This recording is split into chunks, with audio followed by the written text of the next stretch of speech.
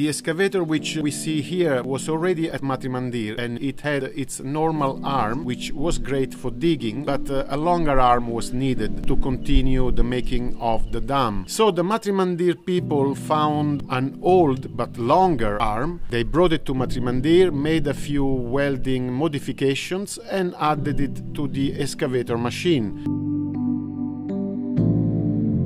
The previous short arm is uh, kept for excavations because this is a multi-purpose machine. The excavator also had to get some extra weight at the back to stay in balance while it operates and that's why we see these two Lego blocks attached at the back of uh, the excavator. Each Lego block weighs 2 tons.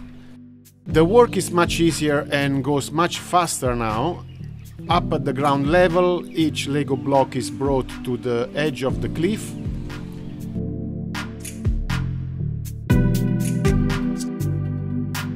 Here the excavator standing at the bottom picks it up and just with a simple rotation it places it on the dam where the workers ensure it is interlocked properly.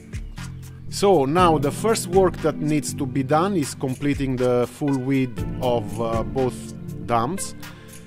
And after that, the dams will be raised up to the top, which is the ground level, which is another 5 meters from where the dams are now.